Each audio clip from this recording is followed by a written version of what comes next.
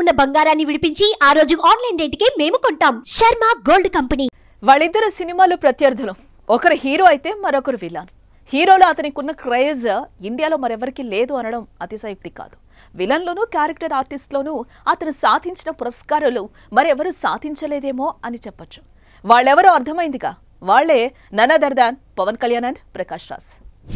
Badri cameraman గంగతో Rambabu సినిమాలో పవన్ కళ్యాణ్ ప్రకాష్ రాజ్ పోటా పోటీగా నటించి మెప్పించారు. నువ్వు నంద అయితే నాకేంటి? నేను బద్రీ బద్రీనాథ్ అంటూ పవర్ స్టార్ పవన్ కళ్యాణ్ చెప్పిన డైలాగ్తో థియేటర్లో విజిల్స్ దద్దరిల్లిపోయాయి. మరో పవన్ సినిమా సుస్వాగతంలో నేను మోనార్క్ను నన్నెవరూ మోసం చేయలేరు అంటూ ప్రకాష్ రాజ్ తనదైన స్థాయిలో చెప్పిన డైలాగ్ ఓ మైలురాయి అని చెప్పొచ్చు. వారిద్దరు సినిమాలో హీరో విలన్లుగా చేసిన నిజ జీవితంలో మాత్రం ఇరువురి మధ్య మంచి స్నేహపూర్వక వాతావరణమే ఉండేది. అలా ఉండేది అని ఎందుకు చెప్తున్నాను అంటే ఇటీవల వారి మధ్యకు లడ్డు వచ్చింది. తిరుమల లడ్డు వల్ల వారి మధ్య గ్యాప్ వచ్చింది. మాటల ట్వీట్ ఫైట్ మొదలైంది. అదేంటో డీటెయిల్డ్గా చూద్దాం.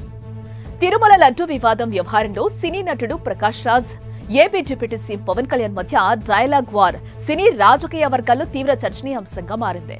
ఇప్పటికే వరుస ట్వీట్స్తో తన ఫీలింగ్స్ను వ్యక్తం చేస్తున్న విలక్షణ నటుడు ప్రకాష్ రాజ్ మరోసారి తాజా పరిణామాలపై మరో ట్వీట్ చేశారు. మనకేం కావాలి? ప్రజల భావోద్వేగాలను రెచ్చగొట్టి తద్వారా రాజకీయ లబ్ధిని సాధించటమా? లేక ప్రజల మనోభావాలు గాయపడకుండా పరిపాలనా సంబంధమైన అవసరమైతే తీవ్రమైన చర్యలతో సున్నితంగా సమస్యను పరిష్కరించుకోవటమా అని ప్రశ్నిస్తూ హ్యాష్ ట్యాగ్ జస్ట్ ఆస్కింగ్ అంటూ సెటర్ పేల్చారు. ఇది ప్రకాష్ స్వీట్ జోర్. అసలు దీనికి అంకురార్పణ ఎప్పుడు మొదలైందో చూద్దాం.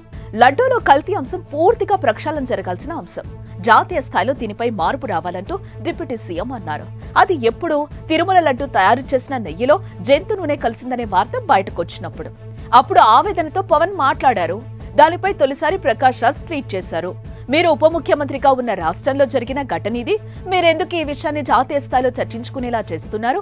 దీనిపై విచారించి నేరస్తులపై చర్యలు తీసుకోండని ప్రకాష్ రాజ్ ట్వీట్ చేశారు. అయితే దానిపై ఇటీవల విజయవాడలోని దుర్గగుడిలో పవన్ రియాక్ట్ అయ్యారు. ఏ వ్యవహారంతో ప్రకాష్ రాజ్కు సంబంధం ఏంటని? ఇది హిందువుల నమ్మకానికి సంబంధించిన అంశము అంటూ పవన్ కళ్యాణ్ గట్టిగానే చెప్పారు. ఆ క్రమంలోనే ప్రకాష్ రాజ్ అంటే తనకు గౌరవం ఉందని పవన్ చెప్పారు. మొన్నటికి మొన్న ప్రకాష్ రాజ్ గారు మాట్లాడారు నా మీద. అరే నేను మాట్లాడుతుంది ఒక హిందువులు అపవిత్రం గురించి మాట్లాడుతున్నాను. ఇందులో ప్రకాష్ రాజ్ గారికి సంబంధం ఏంటి ఇందులో? నేను ఇంకొక మతాన్ని నిందించానా? ఇస్లాంని నిందించానా? క్రిస్టియానిటీ నిందించానా? ఈ అపవిత్రం జరిగింది ఇలా జరగకూడదు ఫుడ్ అడల్ట్రేషన్ జరిగిందని మాట్లాడుతుంటే దీన్ని గోల చేయకూడదు అంటే తప్పు జరిగినప్పుడు మాట్లాడకూడదా? అయితే పవన్ కళ్యాణ్ కామెంట్స్ పై ప్రకాష్ రాజ్ అప్పుడే వీడియో సందేశం పంపారు. పవన్ కళ్యాణ్కు వీలైతే తన ట్వీట్ను మళ్ళీ చదివి దయచేసి అర్థం చేసుకోవాలి అంటూ చెప్పారు. శ్రీ పవన్ కళ్యాణ్ గారు నేను ఇప్పుడే మీ ప్రెస్ మీట్ని చూశాను. నేను చెప్పిందేంటి మీరు దాన్ని అపార్థం చేసుకుని తిప్పుతున్నదేంటి? నేను ఇప్పుడు విదేశాల్లో షూటింగ్లో ఉన్నాను.